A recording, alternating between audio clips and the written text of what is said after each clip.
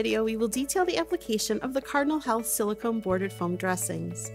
Cardinal Health silicone bordered foam dressings are sterile foam dressings made with a highly absorbent foam pad, protective film backing, gentle silicone adhesive, and a secure border.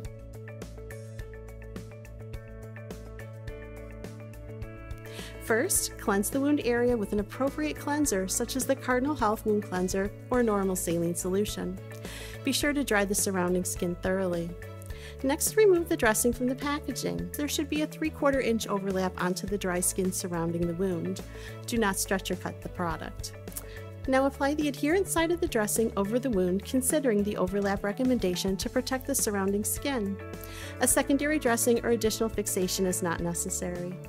All dressings should be monitored frequently.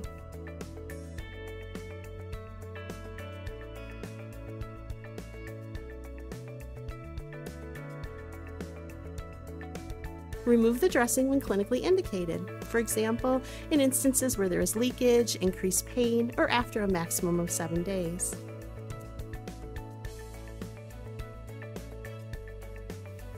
Carefully remove the silicone bordered foam dressing by gently lifting the edges of the border off of the skin. For more information or to order, contact your local Cardinal Health sales representative. Call 877 227 3462 or visit cardinalhealth.com.